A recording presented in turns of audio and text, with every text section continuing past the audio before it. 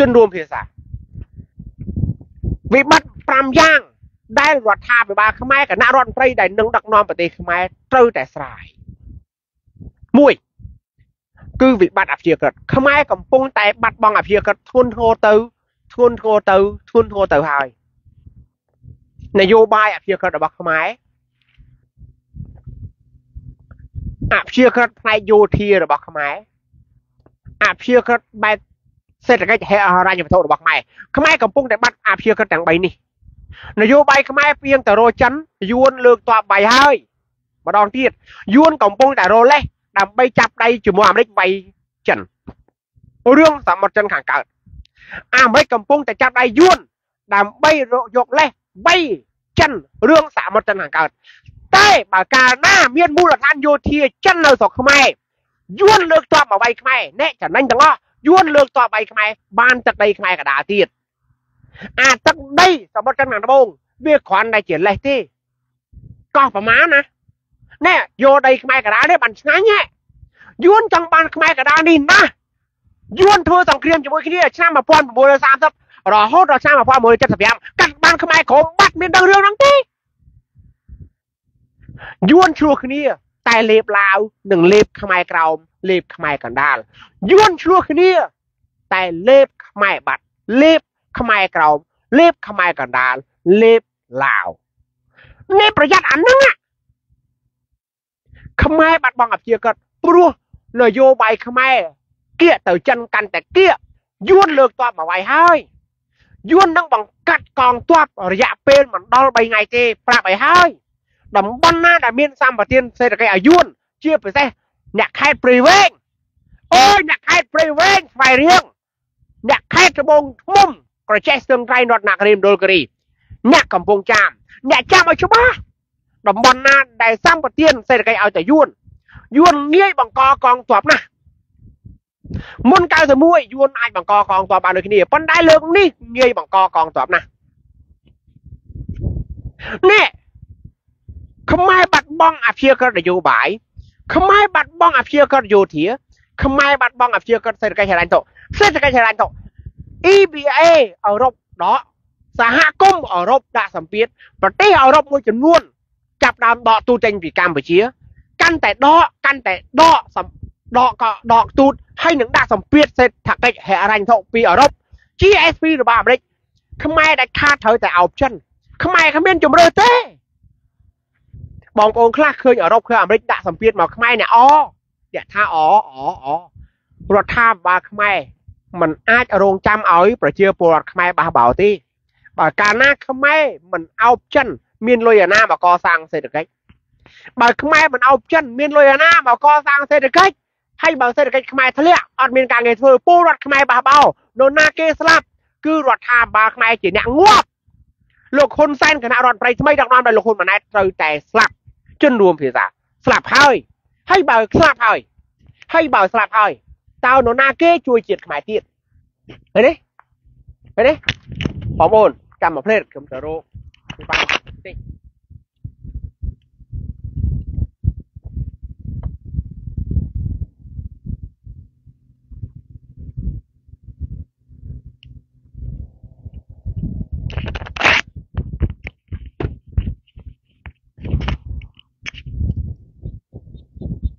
នេះ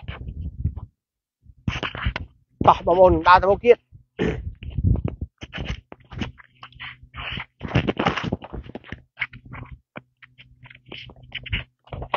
អស់ភ្លើងអំពូលនឹងសាដល់ហើយនៅសាវាឆាប់អស់បងប្អូនជំនួសភាសាអើយតតតតអញ្ចឹងទី1វិបត្តិទី1គឺការបាត់បង់អព្យាក្រឹត អញ្ចឹងរដ្ឋាភិបាលគណៈរដ្ឋមន្ត្រីថ្មីអ្នកឯងបើមិនរូតរះតើរឿងរឿងអព្យាក្រឹតរបស់ខ្លួនដោយប្រើកិច្ចព្រមព្រៀងសន្តិភាពទីក្រុងប៉ារី23ដុល្លារ91បើមិនរូតរះមិនប្រញាប់ប្រញាល់ក្នុងការប្រើប្រាស់រដ្ឋធម្មនុញ្ញនិងកិច្ចព្រមព្រៀងសន្តិភាពទីក្រុងប៉ារីមកបង្កើតទំនាក់ទំនងការទូតជាលក្ខណៈទ្វេភាគីជាលក្ខណៈតំបន់ជាលក្ខណៈអន្តរជាតិជាមួយនឹងបណ្ដាប្រទេសទាំងអស់អាមេរិកក៏ប្រើកិច្ចព្រមព្រៀងប៉ារី បារាំងជាមួយកិច្ចព្រមព្រៀងប៉ារីអឺរ៉ុបក៏កិច្ចព្រមព្រៀងប៉ារីចិនក៏កិច្ចព្រមព្រៀងប៉ារីសៀមយួនក៏កិច្ចព្រមព្រៀងប៉ារីអាស៊ានក៏កិច្ចព្រមព្រៀងប៉ារីការបង្កើតទំនាក់ទំនងការទូតទ្វេភាគីតំបន់អន្តរជាតិនេះគណៈរដ្ឋប្រៃថ្មីអ្នកត្រូវរួតប្រញាប់ប្រញាប់បំផុតបើមិនចឹងទេអ្នកទទួលស្មោបាក់ធ្ងន់ណាស់លោកហ៊ុនសែនគាត់មានជំនាញខាងយោធាគាត់មានជំនាញខាងធ្វើចារកិច្ចគាត់ដឹងច្បាស់ណាស់តើសម្លុតនរណានិយាយជាមួយនរណាស្រាប់និយាយជាមួយនរណាមិនស្រាប់ តែលោកកើតថ្មី លោកថ្មីណាស់ថ្មីចែគណៈរដ្ឋមន្ត្រីថ្មីអភិជាក្រិតកម្ពុជាសំខាន់ណាស់បើកាលណាបាត់អភិជាក្រិតហើយចាប់ហើយខ្មែរគណៈរដ្ឋមន្ត្រីនេះនឹងត្រូវទទួលរងទរណកម្មយ៉ាងធ្ងន់ធ្ងរអំពីរដ្ឋប្រហារចេញអំពីបករបស់ខ្លួនចេញអំពីមន្ត្រីក្រមអាវ៉ាត់របស់ខ្លួនវាកាត់ឡើងស្វ័យប្រវត្តិអត់មាននរណារៀបចំទេ ប្រៀបធៀបថាដើមឈើបើកាត់វាចេញពីគល់ទៅហើយអាដើមនឹងវាត្រូវតែងាប់បងពន្លកបងម៉ាក់វាសនាអញ្ចឹងអភិជាក្រិតកម្ពុជា ទាំងនយោបាយទាំងយោធាទាំងសេដ្ឋកិច្ចត្រូវប្រើកិច្ចព្រមព្រៀងសន្តិភាពទីក្រុងប៉ារីជាបន្ទាន់ត្រូវប្រើកិច្ចព្រមព្រៀងប៉ារីជាបន្ទាន់ដើម្បីពង្រឹងទំនាក់ទំនងខ្មែរអាមេរិកខ្មែរបារាំង ខ្មែរកាណាដាអាល្លឺម៉ង់ខ្មែរអូស្ត្រាលីខ្មែរជប៉ុនខ្មែរជាមួយនឹងអឺរ៉ុបខ្មែរជាមួយប្រទេសប្រជាធិបតេយ្យខ្មែរជាមួយចិនខ្មែរជាមួយយួនខ្មែរជាមួយនឹងបណ្ដាប្រទេសនានាព្រោះរឿងនេះជារឿងសំខាន់ណាស់ហើយចោះគណៈរដ្ឋមន្ត្រីធ្វើយ៉ាងម៉េចមួយកិច្ចព្រមព្រៀងប៉ារីខ្ញុំយល់ថារឿងនេះខ្ញុំមិនបាច់បដៅទេបើដឹងថាកិច្ចព្រមព្រៀងប៉ារីសំខាន់ហើយលោកហ៊ុនសែនក៏មិនដែលថាមិនសំខាន់ដែរ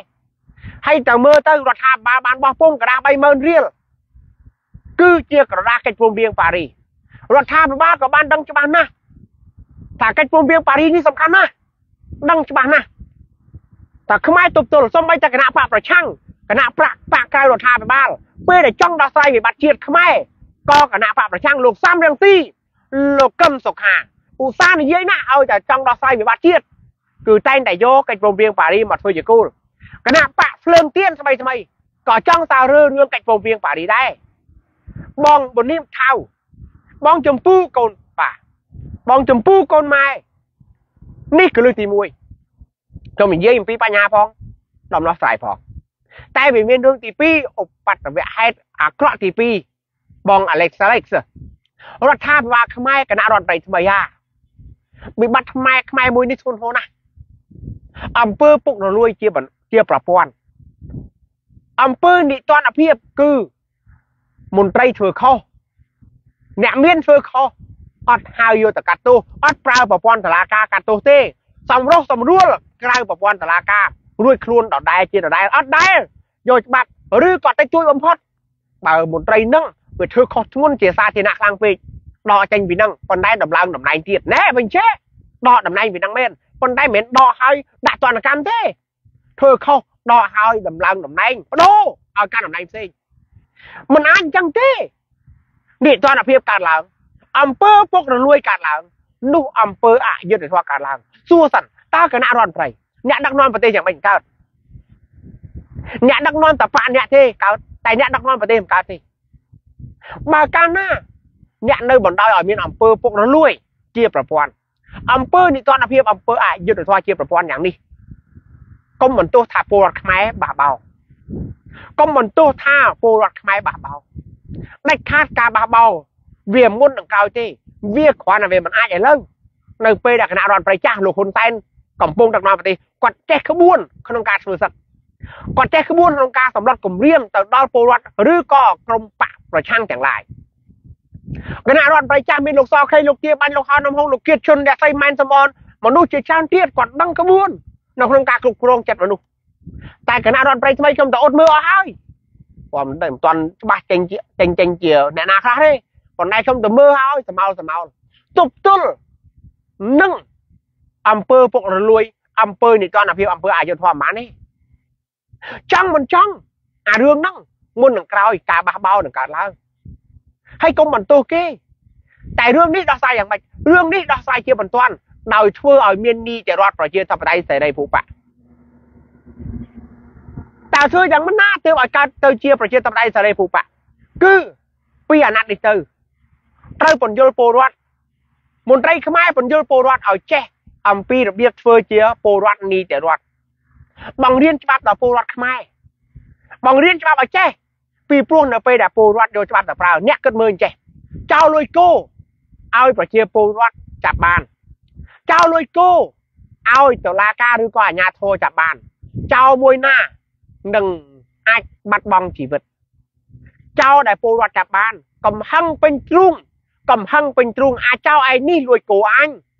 មួយដៃម្នាក់មួយជើងម្នាក់ងាប់បាត់បាត់ដង្ហើមហើយទក់ហើយក្បាលតែបើតុលាការចាប់បាន តែបើប៉ូលីសចាប់បានចូលតុលាការ គឺគាត់ទោសអីលួចគោគាត់នឹងកាត់ទោសដោយសារតែទង្វើលួចគោរបស់គាត់ចៅ ខ្លះគាត់លួចគោដើម្បីចិញ្ចឹមប្រពន្ធគាត់ប្តីគាត់ចិញ្ចឹមម៉ែគាត់ម្ដាយគាត់ឈឺនៅពេទ្យឬក៏កូនគាត់កំពុងតែរៀនការដែលគាត់ជាប់ទោសដោយសារលួចគឺគាត់នៅសល់ជីវិតទុកចិញ្ចឹមកូនចិញ្ចឹមម្ដាយប្រពន្ធប្តីគាត់តែការដែលឲ្យពលរដ្ឋចាប់បានត្រូវបានវាយសម្លាប់នេះគឺគាត់នរណាចិញ្ចឹមម្ដាយនៅពេទ្យនរណាចិញ្ចឹមកូនគាត់ឃើញទេនិយាយអញ្ចេះខ្ញុំឧទាហរណ៍អញ្ចេះមិនមែនបានតែពលរដ្ឋអាក្រក់ទេខ្ញុំនិយាយថាការដោះស្រាយដោយប្រើច្បាប់ នោះបើកាលណាមេដឹកនាំខ្មែរទាំងឡាយណា ដែលធ្លាប់ក្បត់ជាតិដែលធ្លាប់ពុករលួយ ដែលធ្លាប់ប្រព្រឹត្តអំពើនេតនភាពអំពើអយុត្តិធម៌នោះនឹងដោះស្រាយតាមប្រព័ន្ធតុលាការបើដោះស្រាយការវត្តឡាការឧទាហរណ៍រដ្ឋមន្ត្រីមួយធ្លាប់ពុករលួយគឺគេចាត់តរដ្ឋមន្ត្រីនឹងដាក់គុកតានឹងញាក់ផ្សំគំនិតតាប៉ុន្តែប្រពន្ធប្តីរបស់រដ្ឋមន្ត្រីនៅដដែលឃើញទេបងប្អូនបងទីណាបងទីណាបងទីណា គណៈរដ្ឋមន្ត្រីថ្មី ដែលនឹងដឹកនាំរដ្ឋាភិបាលអាណត្តិទី7បើអ្នកប្រញាប់ប្រញាល់បណ្ដោះពលរដ្ឋខ្មែរឲ្យចេះច្បាប់ឲ្យយល់នឹងជឿទៅលើច្បាប់បណ្ដោះបណ្ដាពលរដ្ឋខ្មែរឲ្យជឿតុលាការឲ្យចេះប្តឹងទៅរកតុលាការបង្រៀនបង្ហាត់ពលរដ្ឋខ្មែរឲ្យចេះដាក់ពាក្យបណ្ដឹងទៅតុលាការនោះពេលដែល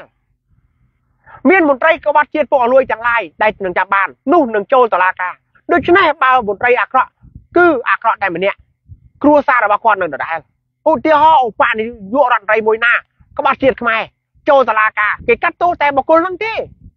ម្ដាយឪពុកគាត់នៅរស់ខ្ញុំជឿថាមានមន្ត្រីអាក្រក់ជាច្រើនគាត់មិនចង់អាក្រក់ទេគាត់ចង់ល្អប៉ុន្តែគាត់ចៃដន្យអីវាចូលក្នុងចង្កោមក្បត់ជាតិគាត់ខំប្រឹងបំរើបរទេសមិនមែនគាត់ចង់បំរើទេតែបើប្រទេសនេះទៅជាប្រទេសប្រជាធិបតេយ្យសេរីភូប៉ានោះគាត់នឹងចុះចេញពីតំណែងហើយគាត់នឹងដើរឲ្យតុលាការកាត់ទោស សំខាន់តុលាការជាតុលាការយុត្តិធម៌ដូច្នេះនេះគឺជាជំរឿសទី2ដំណោះស្រាយទី2គណៈរដ្ឋមន្ត្រីថ្មីហ่า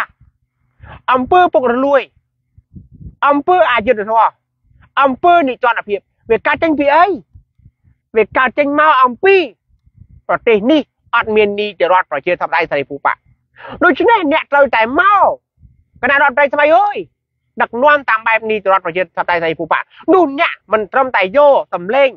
របស់ប្រជាពលរដ្ឋដែលគ្រប់គ្រងបកអ្នកទេលោកគណៈបកប្រជាជនអ្នកនឹងយកពួកយើងទៅដែរអ្នកបង្កើតនីតិរដ្ឋប្រជាធិបតេយ្យសេរីភូប៉ាអ្នកនឹងយកពួកយើងទៅដែរពួកខ្ញុំមិនទៅធ្វើជាទីប្រឹក្សាឲ្យបកអ្នកក៏ពិតមែនតែយើងជាប្រជាពលរដ្ឋនឹងគោរពកោតសរសើរអ្នកពួកយើងកំពុងផ្សាយច្បាប់យើងកំពុងបង្រៀនច្បាប់យើងកំពុងតែចង់ឲ្យពលរដ្ឋខ្មែរចេះច្បាប់ហើយខ្ញុំជឿថាសកម្មជនបកនៅក្រៅរដ្ឋាភិបាល បកដែលនៅក្រៅរដ្ឋាភិបាលបើអ្នកការពារនីតិរដ្ឋហ៊ានដើរបង្រៀនពលរដ្ឋអំពីនីតិរដ្ឋប្រជាធិបតេយ្យសេរីភូបកបង្រៀនពលរដ្ឋឲ្យទៅជាពលរដ្ឋនីតិរដ្ឋពលរដ្ឋឯកតនាមពលរដ្ឋឯកតនាមពលរដ្ឋឯកតនាមគឺឲ្យពលរដ្ឋខ្លាយទៅជាម្ចាស់ជួរកវាសនានយោបាយនោះអ្នកនឹងខ្លាយទៅជាគណៈរដ្ឋមន្ត្រីមួយដែលសល់គេឈ្មោះរាប់រយរាប់ពាន់ឆ្នាំហើយនៅគេរំលឹកឈ្មោះអ្នករហូតឬក៏អ្នកមិនចង់ទេអ្នកមិនចង់ប្រែคลายប្រវត្តិសាស្ត្រមួយនេះឲ្យទៅជាប្រវត្តិសាស្ត្រមួយដ៏អស្ចារ្យទេគេអាចចាំ ឈ្មោះរបស់ជ័យវរ្ម័នទី7បានរឿងអីគេមិនអាចចាំឈ្មោះអ្នកបានគេអាចចាំជ័យវរ្ម័នទី7ថាដឹកនាំប្រទេសឲ្យទៅដល់កម្ពុជាបានរឿងអីគេមិនអាចចាំអ្នកបានខ្ញុំជឿថាគណៈរដ្ឋមន្ត្រីថ្មីនឹងមានដួងប្រលឹងអ្នកស្នេហាជាតិកប់នៅក្នុងនឹងច្រើនបងប្អូនអើយវិបត្តិទី3វិបត្តិនៃការចំនួនដីធ្លីដែលធ្វើឲ្យខ្មែរបាត់បង់ជីវភាព ចំនួនដីធ្លីដែលធ្វើឲ្យខ្មែរបាត់បង់ជំនាញចំនួនដីធ្លីដែលធ្វើឲ្យទំនិញខ្មែរអត់មានទីផ្សារចំនួនដីធ្លីដែលធ្វើឲ្យខ្មែរត្រូវចំណាក់ស្រុកចំនួនដីធ្លីដែលធ្វើឲ្យខ្មែរមានអំពើអយុត្តិធម៌ចំនួនដីធ្លីឥឡូវនេះគ្រប់ភូមិគ្រប់ឃុំគឺកំពុងតែកើតឡើងហើយកំពុងតែស្រែករដខ្យល់ចំនួនដីធ្លីធ្វើឲ្យខ្មែរជាប់បំណុលវាន់កលោកមន្ត្រីទាំងឡាយបើអ្នកពិតជាចង់ជួយខ្មែរមែន នេះគឺជាវិបត្តិជាតិធ្ងន់ធ្ងរណាស់ខ្ញុំដើរ20ឆ្នាំនេះខ្ញុំធ្វើការងារតាំងពី2002មកភាពក្រីក្រទុកលំបាករបស់ពលរដ្ឋមិនមែនចេញពីមាត់ខ្ញុំហើយវាត្រូវទេលោកសាកបើកវេទិកាសាធារណៈលោមើលទៅសាកបើកវេទិកាសាធារណៈមួយអាទិត្យលោមើលទៅឲ្យពលរដ្ឋខលចូលអ្នកកំតាន់ធ្វើអីឲ្យគាត់ខលចូលដើម្បីបញ្ចេញមតិអ្នកហ៊ានទេធ្វើវេទិកាសាធារណៈឲ្យពលរដ្ឋខលចូលតាមខេត្តនីមួយនីមួយ តាមប្រទេសនៅនៅឯណានៅឯណានៅស្អីគេដៃជោនោះ start start ហ្នឹង start ដៃជោ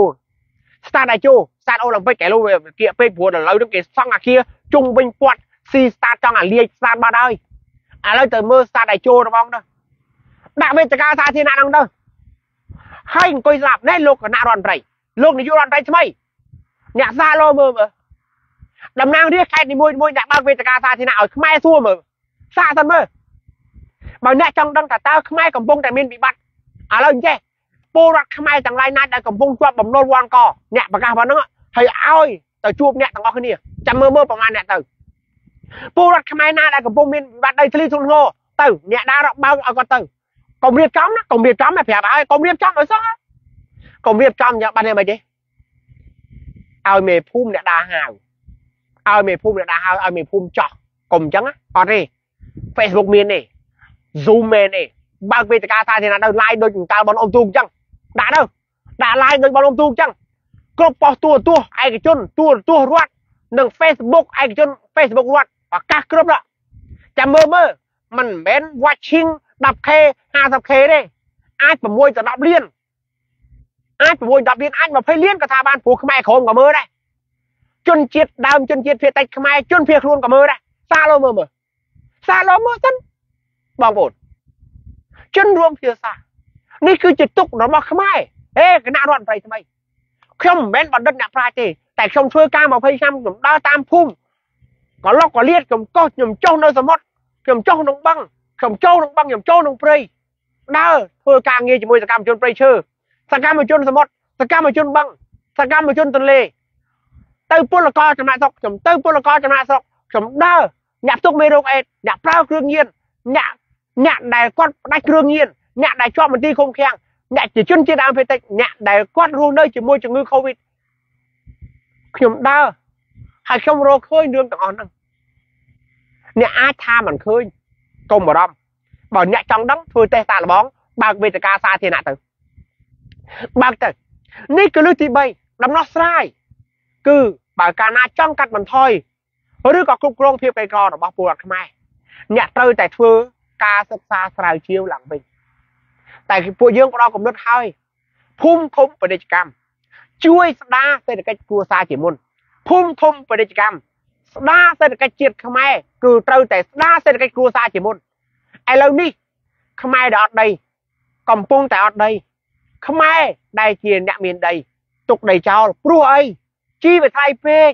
ឆ្នាំវាថ្លៃពេកជួលតាំងវាថ្លៃពេកត្រាក់ទ័រគោយន្តវាថ្លៃពេកឥឡូវនេះកំពុងបោះបង់ដីហើយកំពុងបោះបង់ជំនាញកសិកម្មហើយកំពុងបោះបង់កសិឧស្សាហកម្មហើយខ្មែរកំពុងបោះបង់ជំនាញដូនតាចោលហើយអ្នកប្រញាប់ឡើងគណៈរដ្ឋមន្ត្រីថ្មីអត់ទាន់ហួសពេលនៅក្នុងការកសាងប្រទេសទេទី2 ការកសាងជាតិត្រូវតែប្រើកិច្ចព្រមព្រៀងសន្តិភាពទីក្រុងប៉ារីដាច់ខាតអ្នកមិនអាចពឹងចិនប្រឡែងអាមេរិកអ្នកមិនអាចពឹងចិនប្រឡែងអឺរ៉ុបអ្នកមិនអាចពឹងបរទេសមួយប្រឡែងបរទេសទីមួយទេទី1អាចចំណុចខាងលើខាងដើមបាត់បង់អភិក្រិតទី2គឺខ្មែរនឹងបាត់បង់ប្រជាពលរដ្ឋពលរដ្ឋនឹងចំណាក់ស្រុកច្រើនទៅច្រើនទៅ2លានជាងនៅស្រុកថៃរាប់សែនអ្នកនៅស្រុកជប៉ុនកូរ៉េនៅស្រុកនៅស្រុកនៅស្រុកម៉ាឡេស៊ី ហើយយួនប្រជាជនជិត100លានហើយដល់យកយើងទៅធ្វើការបានទៀតសៀមប្រជាប្រជាជនជិត100លានហើយយកយើង2លានជាងទៅធ្វើទៀតចិនប្រជាជន1.4ពាន់លានហើយនៅយកខ្មែរទៅធ្វើទៀតគេខ្មាស់ចិនទេចេះខ្មាស់យួនចេះខ្មាស់សៀមណាទួយខ្លួនឯងមានតែប្រមាណតរាប់លានសោះមិនក៏ចាំបាច់ឲ្យទៅធ្វើការងារទៅស្រុកគេអត់ទេអ្នកមិនថាអន់ថាទៅតែខ្ញុំថាអន់អត់ទេគេចិត្ត100លាន គេនៅតែរកការងារឲ្យយើងធ្វើគេចិត្ត100លានគេនៅផលិតផលឲ្យយើង6 10លានប្រើចិនជាង1000លានគេនៅផលិតផលិតផលឲ្យយើងប្រើមកក្បួនមានតើកិច្ចព្រមព្រៀងប៉ារីអាចធានាដល់ការកសាងប្រទេសបានកិច្ចព្រមព្រៀងប៉ារីគឺកសាងជាតិបាន តែភូមិឃុំពាណិជ្ជកម្មធ្វើឲ្យ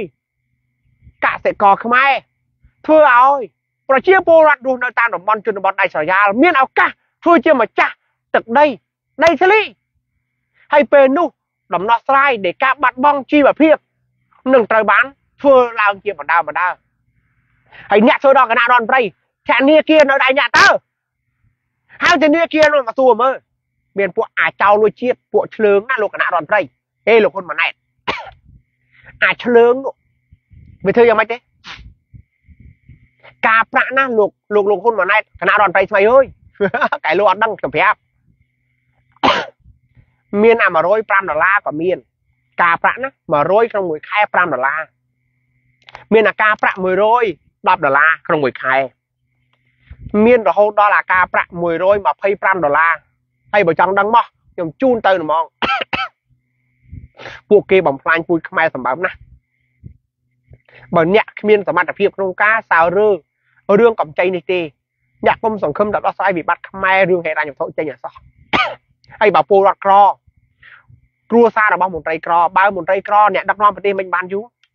អ្នកឯងមើល3ឆ្នាំ8ខែ20ថ្ងៃមើលមន្ត្រីក្ររងអត់ប្រាក់ខែតែផងអ្នកមើលរបបក5មើលកែលោថាឪពុករបស់អ្នកដឹកនាំក5ទៅសួរលោកហ៊ុនសែនមើលទៅសួរលោកសខេងមើលទៅសួរអតីតមេដឹកនាំក5មើលគាត់ចង់ដឹកនាំប្រទេសខ្មែរបែបក5អត់ចោះទៅសួរគាត់សិនរវាងដឹកនាំតាមបែបក5ដឹកនាំតាមបែបកុម្មុយនីសផ្ដាច់ការហើយសេដ្ឋកិច្ច គឺមានតែយួននិងសូវៀតជាអ្នកពុតគង់ហើយនឹងដូចឥឡូវពេលដូចឥឡូវយើងប្រើដូចឥឡូវនេះវាស្ទើរទៅទេក៏ប៉ុន្តែយ៉ាងហោចណាស់ក៏វាគ្រាន់បើដែរបើធ្វើតាមកិច្ចព្រមព្រៀងប៉ារីមិនតែចិនទេមហាវត្តខ្មែរមិនតែចិនទេធ្វើតាមកិច្ចព្រមព្រៀងប៉ារីគឺប្រទេសហត្ថលេខីទាំងអស់រួមជាមួយសមាជិកអង្គការសហប្រជាជាតិបងអាឡិចអាឡិចបងថោងម៉ាឡាបងសៀងជួនបងស្មាចំការ បងស្នាចំការបងវិសាលនោះអមមិញបញ្ហាទី3ខ្ញុំបានសរសេរបញ្ហាហ្នឹងហើយខ្ញុំនិយាយបញ្ហាបដៅដោះស្រាយបញ្ហាបដៅណាបងប្អូនដោយសារតែនិយាយឲ្យអស់ទៅដល់ម៉ោងទៅខួសម៉ោងទៅនៅនេះបងប្អូនមួយទៀតប្រទេសមួយនេះ មានបញ្ហាដ៏ធ្ងន់ធ្ងរមួយទៀតគឺការបង្កើតរបបប្រជាធិបតេយ្យសេរីភូប៉ាបង្កើត របបប្រជាធិបតេយ្យសេរីភូប៉ាគឺយើងទទួលការបរាជ័យពីដំណាក់កាលអន្តរកាលដឹកនាំដោយយូណាមិចនិងអ៊ុនតាដើម្បីបង្កើតរបបប្រជាធិបតេយ្យសេរីភូប៉ាយើងបរាជ័យពីនោះរហូតដល់ឥឡូវនៅតែបរាជ័យมันអាចបង្កើតរបបប្រជាធិបតេយ្យសេរីភូប៉ាទេមានអ្នកខ្លះថាកម្ពុជាបច្ចុប្បន្ននេះមានលទ្ធិប្រជាធិបតេយ្យសេរីឈរលើគោលការណ៍ភូប៉ាហើយបើឈរលើគោលការណ៍ភូប៉ាមិនពេលបោះឆ្នោតម្ដងម្ដង នៅតែឆ្លោះទាស់តែងគ្នាប្រកែកគ្នាថាគោជោបឯករាជ្យមិនឯករាជ្យអញ្ចឹងហាហាពេលបោះឆ្នោតម្ដងម្ដងមិនក៏ចាប់គ្នាញាត់គុកហៅថាពួកបដិវត្តហៅថាពួកក្បត់ជាតិសួរសិនប្រទេសមួយជាប្រទេសប្រជាធិបតេយ្យសេរីភូប៉ាយ៉ាងម៉េចបើបិទបាក់ជំទាស់ដែលមានប្រជាជនគ្រប់គ្រងរដ្ឋលានអ្នកណាប្រទេសមួយជាប្រទេសប្រជាធិបតេយ្យសេរីភូប៉ាយ៉ាងម៉េច បើប្រជាពលរដ្ឋគេឲ្យសរងប៊ីចេងបានបោះឆ្នោតគេឲ្យលុយទៅបោះឆ្នោតគេគម្រាមកំហែងចាប់ដាក់គុកដាក់ច្បាប់ឲ្យទៅបោះឆ្នោតគេជាបញ្ចោថាពលរដ្ឋណាបោះឆ្នោតសិទ្ធិពួកក្បត់ជាតិបងប្អូនណាអត់គូខ្វែងជាពួកក្បត់ជាតិបងប្អូនណាគូខ្វែងក៏ជាពួកក្បត់ជាតិគេជេរបញ្ចោពលរដ្ឋគ្រប់ទៅគ្រប់ទៅកន្លែងតើកន្លែងណាដំណើរការនីតិរដ្ឋប្រជាធិបតេយ្យសេរីភូប៉ានៅពេលដែលប្រជាពលរដ្ឋត្រូវបានគេគម្រាមកំហែងបញ្ឈប់បញ្ឈរ គណៈបកនយោបាយត្រូវបានគេបិទសកម្មជនបកនយោបាយត្រូវបានគេកំទេចអ្នកសារព័ត៌មានឯករាជ្យត្រូវបានកំទេចត្រូវបានបិទត្រូវបានប្រឈមមុខនឹងការចាត់ដាក់ទោសអូសដំណើរបងប្អូនជំនុំពិបាកហើយចាស់ធ្វើយ៉ាងម៉េចទៅទើបមាននីតិរដ្ឋប្រជាធិបតេយ្យសេរីភូប៉ាមិនពិបាកធ្វើទេសំខាន់ធ្វើអត់មិនពិបាកធ្វើទេសំខាន់ធ្វើអត់នីតិរដ្ឋប្រជាធិបតេយ្យសេរីភូប៉ា គឺអំណាចកម្ពុជាទាំង3ឯករាជ្យដាច់ដライគ្នាអំណាចនីតិបញ្ញត្តិរដ្ឋសភាប្រតិសភាជាស្ថាប័នសាធារណៈគណៈរដ្ឋមន្ត្រីគឺជាស្ថាប័នសាធារណៈត តុលាការជាស្ថាប័នសាធារណៈក៏ប៉ុន្តែបងប្អូនហីរបស់យាយជីគិតតែไปរួមមុខខ្ញុំតែលឺតែឃើញរបស់យាយជីបងប្អូនហើយស្មើនឹងទៅហើយអត់គិតយប់គិតថ្ងៃទេរបស់យាយជីនេះគេមកតែថ្ងៃថ្ងៃដែរបានឃើញ មកយប់អញ្ចឹងមកគ្របមុខខ្ញុំប្របាក់នៅពីរដងហើយបងវិញទៅនេះតែរដ្ឋប្រជាធិបតេយ្យសេរីភូប៉ាគឺអំណាចកម្ពុជាទាំង3ឯករាជ្យដាច់ដោយឡែកពីគ្នាប៉ុន្តែបងប្អូនអ្នកមិនអាចរងចាំទេរឿងហ្នឹងពលរដ្ឋអាចចូលរួមធ្វើបានគឺយើងជាពលរដ្ឋត្រូវធ្វើជាពលរដ្ឋឯកតនាមពលរដ្ឋនីតិរដ្ឋនិងពលរដ្ឋសកម្មស្អីទៅពលរដ្ឋឯកតនាមគឺយើងត្រូវតែចេះច្បាប់បោះឆ្នោតយើងត្រូវតែចេះច្បាប់គណៈបកនយោបាយ យើងត្រូវតែចេះច្បាប់រដ្ឋធម្មនុញ្ញកិច្ចព្រមព្រៀងប៉ារីសហើយធ្វើជាម្ចាស់មន្ត្រីគោជបដោយបង្កើតសំណួរសួរមន្ត្រីគោជបឲ្យរីអាចសួរមន្ត្រីគោជបឲ្យរបូតខោតែបើបងប្អូនមិនដែលស្គាល់មន្ត្រីគោជបផងតើអ្នកចង់ឲ្យមានការបោះឆ្នោតស្រីចាំទៅយ៉ាងម៉េចអ្នកត្រូវចេះច្បាប់បោះឆ្នោតដើម្បីទុកសួរបេក្ខជនតំណាងរាស្ត្រសួររហូតដល់របូតខោលីអូរបូតមុំរបូតអគឺយើងចេះច្បាប់គណៈបកនយោបាយ យើងចេះកិច្ចព្រមព្រៀងប៉ារីសចេះរដ្ឋធម្មនុញ្ញយើងចេះច្បាប់បោះឆ្នោតពីព្រោះបេក្ខជនតំណាងរាស្ត្រអ្នកឯងមកធ្វើស្អីសួររហូតដល់របូតខោពលរដ្ឋឯកតនាមជាពលរដ្ឋដែលត្រូវចេះច្បាប់បោះឆ្នោតដើម្បីទុកសួរមន្ត្រីសង្កេតការអ្នកឯងមកសង្កេតការយើងសួរគាត់តើក្រមសីលធម៌វិជាជីវៈរបស់មន្ត្រីសង្កេតការមានអីខ្លះពួកអ្នកខ្លះគ្រាន់តែថាអ្នកសង្កេតការទេមកដល់យកតែប្រាក់ខែយកតែលុយអ្នកខ្លះបានលុយណាមកសង្កេតការ របស់បកនយោបាយមកសង្កេតការរបស់គោជបអ្នកសង្កេតការគោជបយកលុយណាចាស់ពលរដ្ឋនីតិរដ្ឋគឺចេះច្បាប់រដ្ឋធម្មនុញ្ញគឺចេះក្រមព្រំទាន់ក្រមរដ្ឋវិន័យគឺចេះច្បាប់ចេះក្រមសិលធម៌វិជាជីវៈរបស់មន្ត្រីរដ្ឋសភាក្រមសិលធម៌វិជាជីវៈច្បាប់របស់មន្ត្រីគណៈរដ្ឋមន្ត្រីចេះក្រមសិលធម៌វិជាជីវៈរបស់មន្ត្រីតុលាការពួកយើងត្រូវចេះប្រើសារព័ត៌មានក្រមសិលធម៌វិជាជីវៈរបស់អ្នកសារព័ត៌មាននេះហៅថាពលរដ្ឋនីតិរដ្ឋបងប្អូន มันអាចរងចាំទេវតាណាមកបង្កើតនីតិរដ្ឋឲ្យខ្មែរទេគឺយើងម្នាក់ម្នាក់ខ្មែរក្រោមលើកណ្ដាលជនជាតិដើមជនជាតិភាគតិចអាចធ្វើបានបងប្អូនដែលខ្មែរក្រមសរសេរភាសាយួនសរសេរមកកុំបារម្ភខ្ញុំមិនចេះអានទេអក្សរយួនប៉ុន្តែលើកទឹកចិត្តឲ្យតែបងប្អូនជាខ្មែរក្រមអត់ទេខ្មែរខ្ញុំដឹងថាទូរស័ព្ទបងប្អូននៅស្រុកយួនរាល់ថ្ងៃនេះទូរស័ព្ទខ្លះអត់មានហ្វុងខ្មែរទេខ្ញុំដឹងថាបងប្អូនគឺយួនអត់ឲ្យរៀនខ្មែរដូច្នេះជួយឲ្យបងប្អូនមិនចេះខ្មែរតែសរសេរយួនមក ពីព្រោះក៏មានខ្មែរក្រមចេះអានយួនបកប្រែឲ្យពួកខ្ញុំប្រាប់ដែរបងប្អូននេះគឺជាវិបត្តិទី4ហេលោកគណៈរដ្ឋមន្ត្រីទោះបីជាលោកអះអាងថាការបោះឆ្នោតភ្លូកទឹកភ្លូកដីជាង80%ក៏ដោយប៉ុន្តែលោកដឹងថាខ្មែរប្រមាណ10ម៉ឺនសែនលានអ្នកដែលគូខ្វែងអ្នកដឹងថាប្រមាណអ្នកដែលត្រូវបានគម្រាមកំហែងឲ្យមកបោះឆ្នោតអ្នកដឹងថាប្រមាណអ្នកដែលអត់គូស្លឹកឆ្នោតអ្នកដឹងច្បាស់ណាស់ថាប្រមាណអ្នកដែលទទួលសំណូកដើម្បីមកបោះឆ្នោតអ្នកដឹង តែខ្ញុំនិយាយនេះទោះបីអ្នកដឹងមិនដឹងក៏ដោយនេះគឺជាវិបត្តិទៀតដែលគណៈរដ្ឋមន្ត្រីថ្មីដែលត្រូវដោះស្រាយបើមិនចឹងថ្មបាក់ងាប់ថ្មបាក់ងាប់ចុងក្រោយយីតែចុះក៏សัตว์អីមកទុំតែខ្ញុំសុភាឈរនៅមួយកន្លែងឲ្យឡងធ្ងក់មិនក៏មិនខ្ចីទៅប៉ះពាល់សុភាសោតបល័យសុភាបងនិយាយម្នាក់ឯងចឹងពិបាកចិត្តទេចុងក្រោយជនរួមភាសា គឺគម្លាតរវាងអ្នកមាននិងអ្នកក្រនេះឆ្ងាយទៅឆ្ងាយទៅហើយថ្ងៃមុនគាត់គេជួគ្នារឿងអ្នកមានគិតទៅមុខអ្នកក្រគិតទៅក្រោយម៉ែអាថ្លែងជីដូនមួយអាថ្លែងហើយជួគ្នាអស់ជិត3ខែគម្លាតរវាងអ្នកមានអ្នកក្របានយ៉ាងម៉េចទេអ្នកក្រស្រាប់តែក្រទៅក្រទៅជាប់បំណុលវាន់ករោតាដីរោតាផ្ទះយករោតាខ្សែធូមមិនបានប្លង់ដីប្លង់ផ្ទះជាប់នៅធនាគារទាំងអស់ឯអ្នកមានវិញដីផ្ទះ រាប់សិបរាប់រយនៅមិនអស់ដីទុកចោលដុះព្រៃអ្នកអត់ដីអត់មានដីធ្វើ អ្នកមានដីទុកឲ្យដុះព្រៃខ្មែរអ្នកក្រលែងហ៊ានទៅជន់ផ្ទះអ្នកមាន អ្នកមានខ្លាចតែអ្នកក្រច្រណែនមើលមើលអ្នកមានខ្លះក៏ឲ្យលឺសូរអ្នកក្រថាបន្តិចជេរបចោអ្នកក្រឥឡូវអុកញ៉ាឆ្លោះអុកញ៉ាអុកញ៉ាកាត់សម្រាប់អុកញ៉ាអុកញ៉ាបំផ្លាញអុកញ៉ាអ្នកមានឆ្លោះអ្នកមាន អ្នកក្រឆ្លោះអ្នកក្រ កុំលៀតអ្នកក្រអ្នកមានឆ្ងាយទៅឆ្ងាយទៅហើយចាស់ធ្វើយ៉ាងម៉េចទើបឲ្យអ្នកក្រអ្នកមានត្រូវគ្នាมันពិបាកសោះត្រឡប់យកគំនិតទី3ខាងដើមភូមិឃុំពាណិជ្ជកម្មអ្នកមានដីជួបជាមួយអ្នកអត់ដីអ្នកមានជំនាញជួបជាមួយអ្នកអត់ជំនាញអ្នកមានគំនិតជួបជាមួយអ្នកអត់គំនិតភូមិឃុំពាណិជ្ជកម្មដែលពួកខ្ញុំនិយាយនោះគឺជាក្បួនដើម្បីធ្វើឲ្យខ្មែរត្រូវគ្នាអ្នកមានអ្នកក្រត្រូវគ្នាពលរដ្ឋខ្មែរនិងមន្ត្រីត្រូវគ្នាមន្ត្រីនិងពលរដ្ឋខ្មែរត្រូវគ្នា គឺភូមិឃុំពាណិជ្ជកម្មកសិកម្មទំនើបកសិឧស្សាហកម្មកសិពាណិជ្ជកម្មនិងកសិទេសចរនេះជាក្បួនដែលធ្វើឲ្យអ្នកមាននិងអ្នកក្រត្រូវគ្នាគឺឧទាហរណ៍មួយនៅពោធិ៍សាត់ដែលយើងទៅយើងហៅថាអ្នកមានក៏ត្រូវទៅដែរណាមានជនរួមភាសាដែលគាត់មានដីប្រហែលជា10ហិកតាហើយដីគាត់គាត់ទុកនៅទីនោះគាត់មិនមានកម្លាំងធ្វើទេគាត់បើកការ៉ាស់ឡានអញ្ចឹងទៅយើងក៏មានបងប្អូនដែលជាសិស្សជានិស្សិត ជាយុវជនដែលមានកម្លាំងគាត់មានកម្លាំងបាយគាត់មានកម្លាំងប្រាជ្ញា តែគាត់គ្មានដីគាត់មានដីតិចតួចมันអាចចិញ្ចឹមខ្លួនឯងរស់អញ្ចឹងគាត់ក៏ទៅយកហើយមានអតីតកងទ័ពដែលដែលបានចូលនិវត្តន៍ហើយដែរអញ្ចឹងយើងកំពុងតែផ្គុំគ្នាអ្នកមានដីជួបជាមួយអ្នកអត់ដីអ្នកមានដីជួបជាមួយអ្នកមានដីអ្នកមានជំនាញអ្នកមានដីជួបជាមួយអ្នកមានជំនាញអ្នកមានកម្លាំងអ្នកមានគំនិតអ្នកមានធនធានថវិកាអ្នកមានសម្ភារៈ ឥឡូវនេះពួកយើងបង្កើតគំរូនៅពោធិ៍សាត់នៅកំពង់ឆ្នាំងនៅបាទីតកែវនៅបរសែតកំពង់ស្ពឺពួកយើងកំពុងតែថ្ងៃនេះគឺយើងចូលមកបាត់ដំបងរតនមណ្ឌល